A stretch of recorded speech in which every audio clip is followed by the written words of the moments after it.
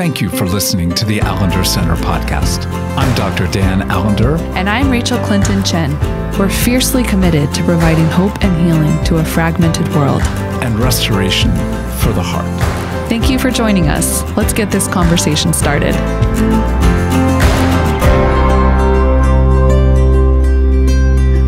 Today, and I'm here with Dan. And we would really love to welcome back a former podcast guest and our friend and ministry partner, Jimmy McGee, CEO and president of the Impact Movement.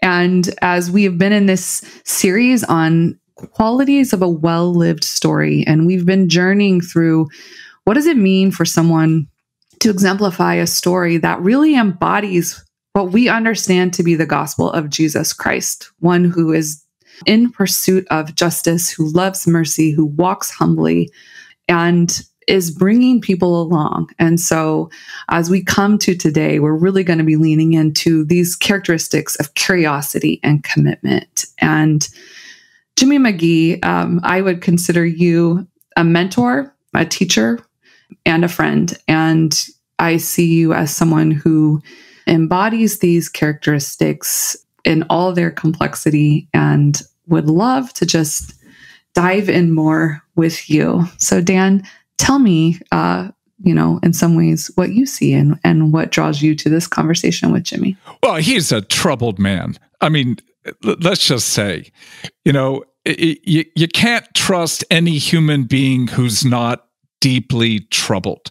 Uh, but on the other hand, uh, whose heart is really pure I mean, whose heart really longs for goodness, individually, corporately, culturally, longs to see redemption. And when you see those two things, a broken human being who's got a holy heart that grows other people to become what what what they're meant to be in the context of following Jesus. So we, have had we've had some wild days with this gentleman, uh, opening the door really truly to a far deeper understanding of racial trauma, uh, of the reality of uh, just uh, not just social inequality, but a, a, a diabolic commitment to doing harm uh, to people of color. So this has been this has been a life changing presence uh, in each of our lives, but I'll just say my life. Uh, so it's it's such an honor, Jimmy, to invite you to. Uh, begin to address the question of how did you become who you are? And I know that's a loaded question, but when we begin to ask of you, how did you become so deeply curious? So, uh, undoubtedly, you know, I'm going to mention a couple of books. So I'm just going to just say that out there. Get uh, your but, pens out, people. Get your pens out. But I, I will say this: that um, I would say I'm moving from fragmentation to wholeness. That I was a very fragment individual when I was coming out of college. Um, I did not have very strong connection between who I was as a person uh, I, I saw streams of who I was when I was younger. Of course, one of them was an athlete. I love to run and play basketball. Uh, I'm not so much of an athlete that I now I bike and I walk. Um, so that was a part of my life.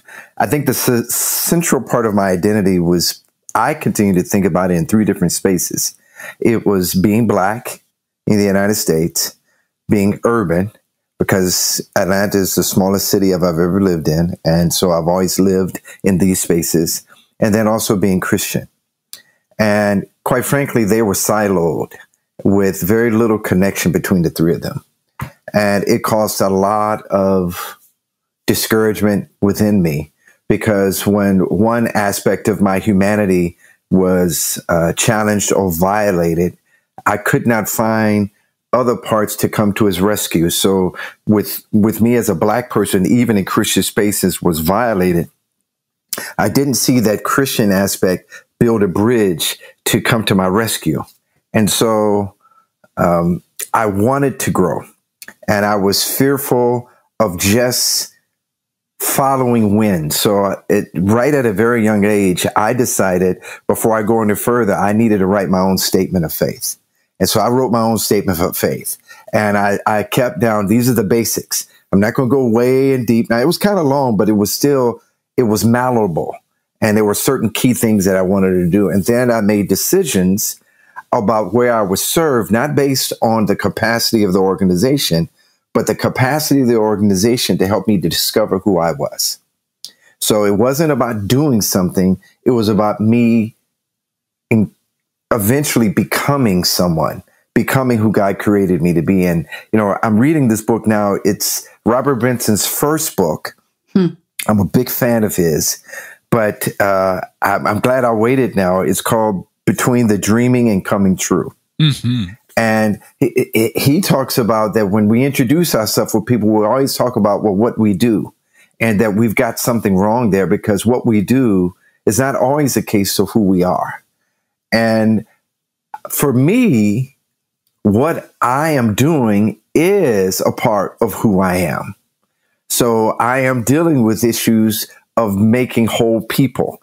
And so what happened to me over these past 25, 30 years was this idea of realizing that I didn't know everything there was in this faith. And so I kept seeking out mentors, whether it was in my organization or out at the time, who I felt like could help me grow in understanding. And they closed the gap of these three personalities until they finally mm-hmm. became at peace in one body. And so that in my body, I am black, I am urban, I am Christian, and I am whole, but I'm becoming more whole every day. And that's that's what happened to me. And uh, if I could just take a brief moment, a significant part of this happened uh, in the early '90s. Uh, I was working for InterVarsity at the time, and there was a very popular book um, called More Than Equals by Spencer Perkins and Chris Rice that came out. Mm-hmm. And uh, the head of our campus ministry nationally sent me the book and said, Hey, I want you to read this book. What do you think about it? So I got the book, I opened it up, I threw it on the bed, and I went about my life. And my wife came back to me and said, Jimmy, you ought to read this book. I just read it. I think you'll find it curious. And when I began to see, it was to me a roadmap to how evangelicals were pursuing the issue of race. And I was troubled by the book. These guys are six hours from my home. So I decided that I was going to engage them. I wasn't just going to just read the book. I was going to take my urban project and engage them in this dialogue. And we began to go back and forth about this because I felt like some of their conclusion was wrong. And I was still unsettled in, in evangelicalism of how they were addressing the issue of race because they were doing it anachronistically. They, they weren't aware of what God was doing historically through believers who adamantly loved Jesus but would never call themselves evangelical. And I know people hard it's hard to phantom that, but there's plenty of people who are dogmatically committed to Jesus and aren't evangelical. And so uh, I was watching Oprah one day, and a guy named C.T. Vivian was on there, mm. and I fell in love with his presentation. Uh, I had later put on in my mind that I had actually went through his training when I was in college through his partner at the time, Charles King, who's unrelated to Dr. King. And I met Charles King before he died of cancer. So I pursued C.T. Vivian for about two years until I finally met him in uh, 1995, 25 years ago. And I would tell you, part of who I was and my curiosity was the idea of being true to who God made me was as a black urban Christian. And that meant there were certain things in me that I desired to be that white evangelicalism was almost forcing itself upon me of what they desired me to be. And what I found in C.T. Vivian, and I'll be brief, was the embodiment of of of of what I wanted to be in a black man. Uh, I saw in him uh, this this incredible combination of Tom Skinner, Dr. King, and Malcolm X, mm. of how you could be nonviolent, direct, uh, masculine and pastoral and sensitive and lucid. Um, when he died, uh, when I used to visit him, he had over 5,000 books in his library. And uh, I was already on a reading tear. and he just pushed me further. Well, you you've chosen to do something that I think most people wouldn't even think about doing, and that is if somebody intrigues you, you go after them. You go knock on their door. Uh, oh, absolutely. You, you invite yourself for coffee and you begin conversations. Oh, absolutely. Robert Benson, let me give you a quick story. This is a true story. Robert Benson, his first book I read was Living Prayer. It changed my life because mm. there's another aspect to me that really is drawn through spiritual formation because I've gone through burnout. I've actually been depressed in my life. And I felt like what evangelicalism also didn't give me was the idea that Jesus really called me into a relationship with him and not for me to be his pure slave to just do his bidding that he really wanted to know me and I should get to know him. So I read Living Living Prayer and then I read The Echo Within. Those two books are right off the top. Now I got like eight of his books. And so uh, while I'm reading Living Prayer, I have a speaking engagement in Nashville. So I send him an email and call him and say, is it possible that I could meet with you in Nashville? So I get back home. This is before we have smartphone. I have my flip phone and I see this voice message from an unrecognized number and it said, it was Robert Benson saying, I apologize. I was unavailable to meet with you. So fast forward, I'm now the president of Impact. I'm peddling his books. I'm advertising it. And I have to go to Nashville. And I said, I'm going to see if I can meet with him. And uh, sure enough, we met in one of the coffee houses that he describes in one of his books. Mm-hmm. And um, I told my wife, I said, Hey, I know you read one of his books. Would you like to go with me? And she said, No, I'm going to let you have your bromance to yourself. and I drove over and we met in his coffee house um, for about two hours. He signed most of my favorite books by him. Mm-hmm. Uh, and then he rebuked me in the midst of just talking to me about his life. And so I've done that over and over again. You name people, John Stott, Eugene Peterson, um, uh, black people. I mean, I think of James Orange and people around Dr. King. All these people played a significant role in my life.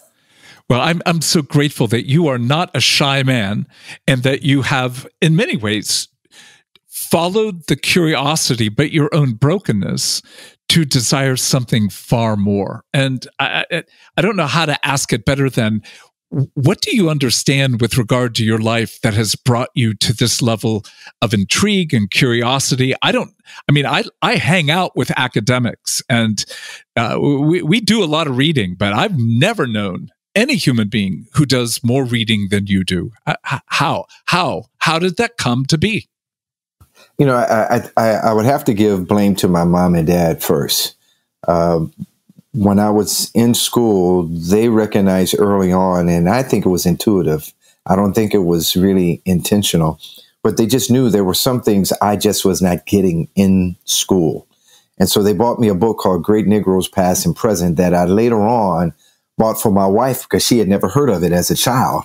And she said, I would love to see that book. And so as an adult, I buy that book for her. And from that, when I finally went to college, and actually, I got addicted on in the arts of sciences college. It it was a new drug of introducing me to concepts and ideas that I knew I didn't know, and so therefore I had to learn more. Uh, and I started reading in my course my courses. And then when i recommitted my life i remember going to the christian bookstore and said i need to have my christian faith be as strong as my academic life. And i, I didn't know where to start. I didn't have this this this plethora of people i could choose from. And i, I remember going in articulating what i'm kind of pining for. And the person said well here's a good book you might consider and it was by Fritz Ridenour called How to Be a Christian Without Being Religious. and it was over the book of Romans. And that was the first book. And I read like five or six of his books after that. Mm-hmm. Well, before we go much further, I just wanted to loop back to something just to acknowledge. Um, I'm just aware that CT Vivian, you, you mentioned it, but he passed away on July 17th. And it's one thing for those of us who know him as this icon of the civil rights movement, as a person who has lived just a profound life of integrity. It's also another thing to lose someone that you actually know and pursued and and had relationship with. So I'm sorry for your loss, um, uh, especially at such a time as this. Yeah, he's a general that we need now. He was 95. His birthday is next week. He would have been 96. And on his 95th birthday, uh, I got my wife to make some ginger snap cookies and I went by his home and gave it to him. And I can still remember getting into his house. It was pouring down rain and I came through the garage and he's dressed as always in a suit. And we sit down and uh, at this time his daughter and son-in-law are living in the house with him. And I gave him some cookies. So he saw the gifts. He begins to take the ribbon apart and he started eating the cookies and they were still almost warm from coming out of the mm. oven. Mm. And I remember telling him, I said, well, you know, those are homemade. And as only he has always said, he looked at me, he said, is there any other kind? And he began to eat them and enjoy them. Um, I had vast amounts of conversations with him in his home, in restaurants, uh, for seven years, facilitating um, training with him with university. And then he introduced me to his son, who took over some of the mantle of that training in university and now works with us now in Impact. Um, uh, it is a huge loss. Um, and, but, you know, I've, I've lost some other guys. I've never deleted them from my phone. Um, I can't forget them now. Uh, they all made a huge impact to my life. And with, with great opportunity comes great responsibility of saying, how can I pass on CT Vivian, Tom Skinner, Elward Ellis, Steve Hayner? How can I pass these people on to the next generation? And that's that's been my conundrum that I continue to answer. Which I think makes this connection to commitment, um, this connection between curiosity to commitment. And, you know, one thing I so deeply respect, even about how you've shared how you came to be a curious man and this language around wholeness. And I think it's just important for our listeners to hear. So often, so many of our Christian concepts have been co opted in ways that are actually detrimental. And when I think about the word integrity, um, when I, th- I, I think that's what I hear you saying this sense of what does it mean to have the fragmented parts be integrated um, as we go and as a part of our healing and um, as a part of what it means to be faithful um, and to have the capacity to bear the responsibility um, of what we're given. And I think that's one of the things I just so deeply appreciate about you and would want to ponder more with you. I do experience you as someone who is deeply committed to passing on all the gifts you've been given, like for the sake of of life and and the gospel of Jesus. And so I'm just curious um, because I hear in you the question of like, I'm not, I'm not always sure how to do that.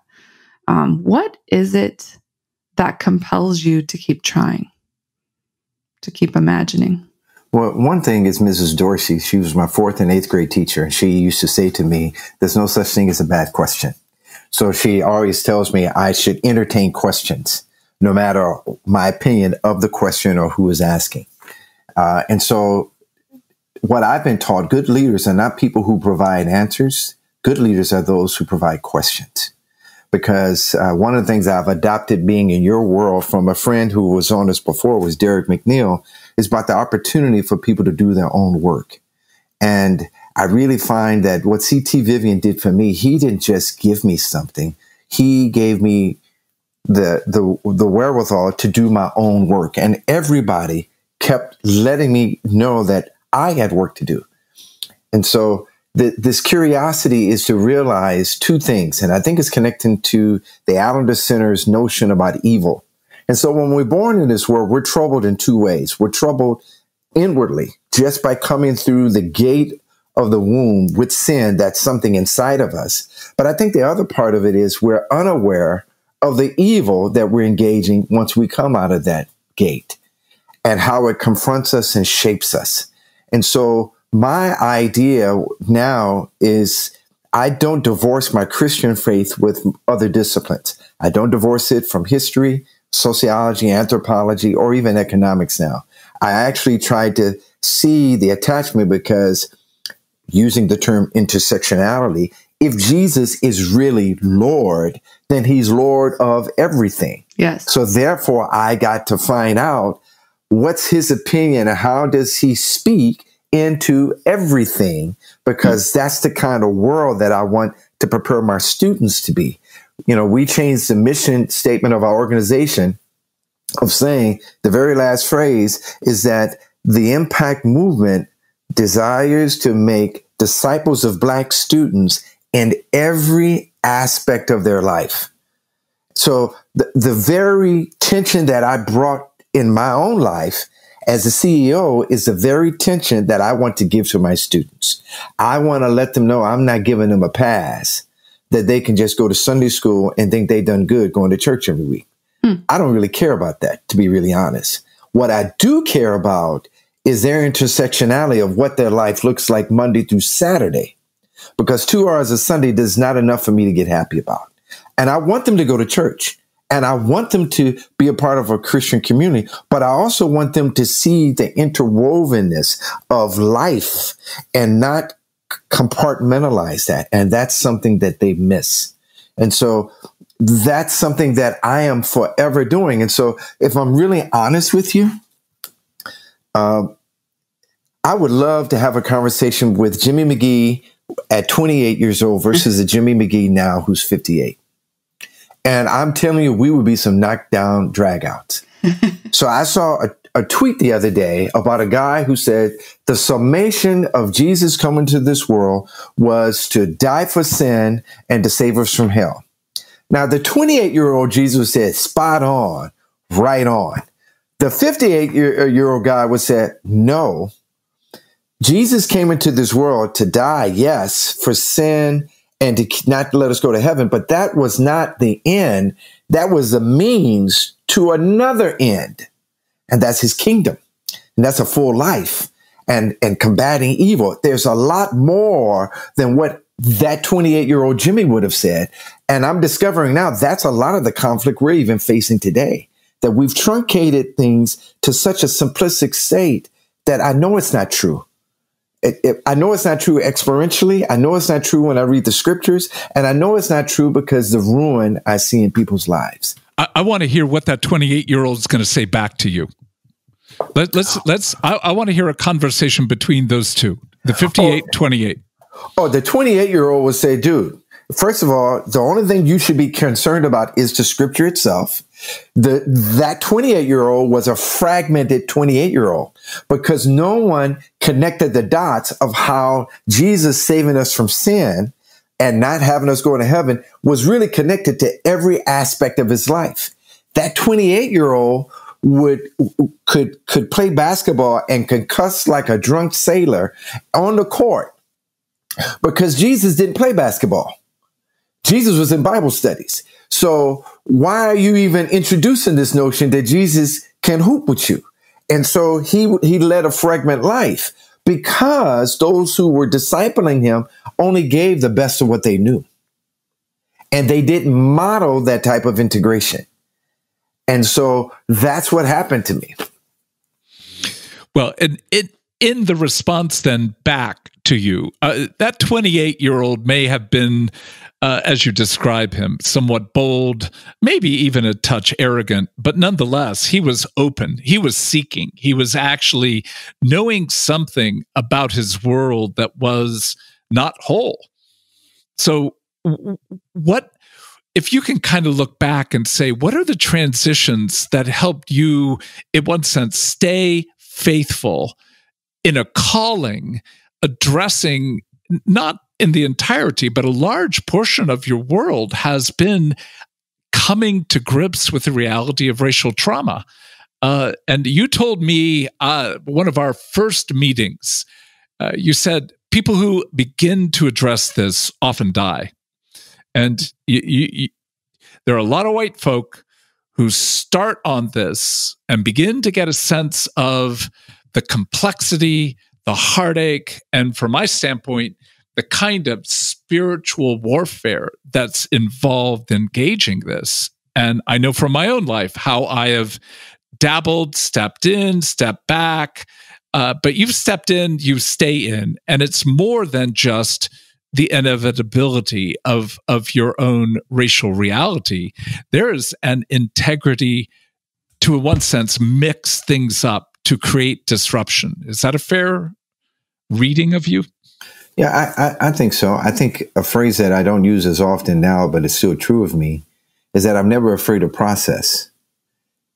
So if I'm in process, that that means I've got to go through the process. I can't rush it. I can't accelerate it. And quite frankly, to accelerate my process actually brings more damage to me. And so I need to go that. So one of the earlier things that I became aware of as a 28 year old, I will say this, and I think this is true that is still maintained in me. I could read and see people in scripture that God engaged at 15, 16, 17, 18 year old individuals. And he had this dynamic, um, peak that he was moving them towards, whether it was to be king, whether it's to be a prophet, it didn't matter. Uh, he whether it was going to be in Egypt like Joseph didn't really matter. But the idea was God knew when He told them that's what He wanted to be that they weren't ready even at that young age, and that mm-hmm. there was a process to prepare them there. A process that would help them understand and become acquainted with humility. A process that would make them aware of integrity and and and also not fear darkness. See, and I think that's where people get out of it. They they're afraid of darkness. And the interesting thing that I know Skinner taught me, and I think you you brought up again recently that I understand, is that for whatever reason we really think of the Christian life is actually avoiding darkness. Actually, the Christian life is really seeking darkness. It's it's it's moving to put light in dark spaces Amen. and to right. engage that. And the 28 year old knew that. And the 28 year old, no matter, and I, t- I tell you, even though he would have corrupt, uh, engaged me 30 years later, hmm. the problem with the 28 year old, he also knew he didn't believe everything he was saying at that point. Mm. He knew that there was some stuff he just didn't know. And so, and and one of the things I remember in my life early on, I, I had just hit maybe my second year on staff with InterVarsity. And then all of a sudden they started saying, Hey, I want you to be an area director or middle manager. And I said, I've only been on this job for two years. And now you want to put me over somebody. And I said, I'm not prepared to do that. I, I think it, what it would have done, it wouldn't have fed my humility. It would have fed my arrogance. And I decided to withdraw that and to really push it. And most people don't realize that for 10 years, I, I was just a regular campus staff and a director of an urban program, but I had national influence because of my passion and my curiosity and my intolerance of darkness and wrong. And I, and that's what pushed me to that place. So you caused trouble. Yeah, John Lewis uh, says it's good trouble. Good trouble. And uh, I, I still think there's not enough of that around right now. Yeah, but also, you, Dan takes one to know one. I mean, exactly. You don't get to like throw that out, like you know. Just oh, saying, well, this is a you know this is a group right here of of good troublemakers. I, I, would, I, would, I was going to return to you, Rachael, and say it takes one to know one to know. okay, so now we're going to start a 12, uh, 12 step group. no, no, we need more trouble. And yet, uh, again, what I've what I've sensed and seen about you is that you you can engage incredible heartache and deep injustice and bring both passion but playfulness and humor. Uh, not not cruel humor not mockery but you seem to have the ability uh, to bring um, uh, well grief with those who have grief and and laughter with those who have laughter. Uh, again has that been noted before? Yeah, it's been noted, but I, I, I don't think that's something that is indicative of me as an individual as much as the community I was born in. Uh, I think they've, they've, I've inherited uh, a group of people who know what uh, resilience and perseverance and grief and laughter, and they can hold all those things at the same time without dropping them. Mm-hmm. And and I've been going out of my way to learn that from my elders and my griot. And you know, I think about my remaining years. I, am the CEO of this organization, not because I thought one day I was going to be such a person. Uh, my problem is that I, I, don't know how much life I have left, And losing CT Vivian tells me we need an army. And I'm not, uh, and I don't know if we're going to get as vast an army as what the United States have, but we need uh, some Navy SEALs, some special forces. Uh, and that's why I actually live now. I live today because I realize my life is going to end and I need some other people that I need to pour this stuff that I got into them because we need replacements. We need people. You know, uh, in 2016, I had an interview with uh, Bryan Stevenson. He wouldn't let us inter- he wouldn't let us record his presentation, but he did let us record an interview. And I remember sitting down with him, and I told him, I said, Bryan, uh, you shaved all the hair off your face and head, so everybody thinks that I'm older than you, but I know better. But I told him, I said, as much as you're doing a good work, you're going to die. And I'm not happy about that because we actually need people to replace you. And I said, the reason why you're at the impact movement is not because of what you do at EJI, it's not because of, you know, you're a great orator and your ideas are exceptional. The ideas, and I'm hoping that some of our students will be stimulated to know that they need to replace you. Because once you die, we need more of you. And uh, that's what I feel like is my greatest burden right now. And I just want to say, as as one who comes um, in some ways behind both of you, um, it, to me, this is a huge part of what it means to live a well lived story, to have an imagination, to know that the work will continue and must continue, and that it is that urgent. Um, and I would just say I don't encounter many leaders who actually under, have that kind of commitment to live into the kingdom of God, to know um, that part of being faithful and part of of being curious and part of being kind and part of being courageous and part of pursuing justice and loving mercy and walking humbly is to make disciples so that the work continues is to give away what you've been given. And i think it takes such like biblical hope and such um, courage and and tremendous humility to entrust to people who are those 28 year olds who you know want to have that conversation with you and to entrust them with things to to help them grow and to learn and in many ways to give away authority and to give away power and um, I just, as someone who has benefited so deeply from both of you, want to say thank you. Thank you for being men uh, in my life and in the life of many people that I can say, like, you know, as Derek McNeil was telling our staff the other day, just reflecting on this this language of like, well done, like good and faithful servant. I hope you can receive those words today, even as we all know there's there's much to be done and and much yet to be lived um, in these ways that we seek to be people who reflect the story of God in our own complex, broken, and beautiful lives. Well, I, I know. Thank you, Rachael, for for for both of us. I, I'm a hungry man, and I I want more. I, exactly. If, if, Jesus is who he is, then I know I've got very little of Jesus, uh, and I want more. And I look to people who seem to have that interplay of they are complex, broken, and very beautiful. And Jimmy McGee is one of those. Uh, two things before we end.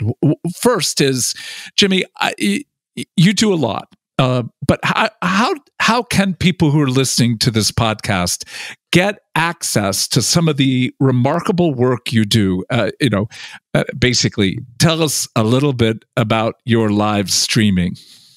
Well, it, there's a couple of things that I can tell you that we're doing. Uh, we're doing um, Facebook Lives. We started March 26th, and the idea was how can we be a dispenser of information to help people interpret life? Uh, certainly the pandemic, but even now with the trauma that's happening, the deaths of Breonna Taylor, of uh, George Floyd, and Ahmaud Arbery. Let's say their names and not forget them. And we've been doing this over and over again. And we've been trying to pay attention to what's happening in the real uh, uh, space. And uh, I, I'm, I'm, I'm just amazed about where we need to grow in this world. And so right now we're dealing with uh, this whole conflict of white evangelicalism engaging the issue of race. And, and we feel like we got to get it head on. And so if they would watch us on our impact movement channels or uh, on YouTube or on our Facebook Live, they can see that. We're also beginning to train our staff or our students rather through digital spaces. So we just completed our first National Digital Impact Leadership Institute. And we have two more. There's going to be on the 7th, and 8th, and 14th and 15th, where we're really trying to build leaders who are curious. And the overarching theme we talk about is becoming because we want our students that they to understand that they live in the present tense, not in the past tense or future tense. That becoming is something that we're always doing, and that's true for me. It's true for both of you. So I think that that's a great space. I think the other space that they would see if we once we get out of this pandemic, um, they can begin to see and understand um, the partnership between us, the Allender Center, the Impact Movement. I think we did something that uh, it's only been done once in our in terms of our partnership, but it's something that must. I think if we're going to be responsible, and that means the responsibility is bigger than us organizationally, but to the kingdom. We got to figure out how do we help people really move forward to handle race trauma and this good news. And I think it's one of the um, conundrums that historically believers have troubled with in this country. Um, one brief story I would tell you about C.T. Vivian. Again, I remember talking to one of my colleagues about my introduction to CT and what he was teaching me. And uh, they came up and they said, Oh, so is CT, a Vivian, a Christian now? And because they were leveraging and using their white evangelical, very truncated idea, did he say a prayer? Did he say these words? And then, and then, because it got to be the words that, that people understand and believe in to say that. And what they failed to realize is that that man had a profound faith and, and that his life was really showing us what it meant to be Christian versus in articulating uh, a thesis. And so I think that's some of the work that we are have yet to do between us organizationally that I think responsibly, I think we could really shift a lot of practitioners in a way to engage fragmentation, to engage wholeness of the good news, and to engage that it's not something to be done. It's something to be and through their beings we can facilitate change. Uh, amen. Uh, what we did uh, together in montgomery I, I, if we don't get back to that it will be one of those griefs that i don't think i can bear. Well before we end uh, we've not talked about this but let me see if this is an idea that you'd be open to jimmy. Um, uh, you need money uh, I'm I'm I'm fairly assured as an organization. So yes. So it, you know, for those who are listening who have a lot of money, uh, Jimmy and I will show up at your house post COVID, uh, exactly. and I and I will cut your lawn, and Jimmy and I will have a conversation with you, your family, with anyone you want to invite. Fifty thousand uh, that's the entry. We'll play a little poker uh, and see where that goes. Uh, is that something that you'd be open to, Jimmy? I'm definitely open to anything like that. We could play a little poker. We could go to the movies. We do a couple of different things. Yeah, we can do some, you know, but, you know, and if, if, if you only have 44, 43,000, we're open. We're open to negotiate, but, exactly. But, uh, we, we have a long-term uh, heart and uh, relationship with Impact and with Jimmy McGee. So we will be inviting you, sir, to be part of more conversations. Thank you. Thank you, you curious, committed man. Thank you. I wanted to take a moment as we as we depart to tell you about a few opportunities that I really want to make sure you know about. So if you've been looking for more ways to get involved or are interested in diving into some of your own story work, we wanted to let you know about some exciting new opportunities happening here at the Allender Center. I don't know if you've already heard, but we just launched a brand new online course called To Be Told with the one and only Dan Allender. It's the same content as our conference, but now available for you to watch at home at your own pace. If you've ever found yourself asking, where is God leading me? Or why do I keep repeating the same patterns and ending up in the same types of relationships? I cannot recommend this course enough. You will be invited to love boldly, make sense of your story, find healing, and make changes that last. Speaking of changes, We've had quite a few over the past few months, as many of you know, and one has been that many of our trainings and workshops for the year ahead are now being offered virtually. So, if you've not been able to attend our certificate in narrative focused trauma care level one because of travel requirements, this is a truly unique opportunity, which takes place over the course of four weekends throughout the year and offers training to therapists, pastors, ministry leaders, stay at home moms, engineers, and many other advocates committed to working on behalf of healing and redemption. You get to learn from members of our teaching staff and you participate in a healing process yourself with a group of people under a seasoned facilitator. The certificate require applications, so check that out. You can find that on our website at theallendercenter.org, along with information about our new online course.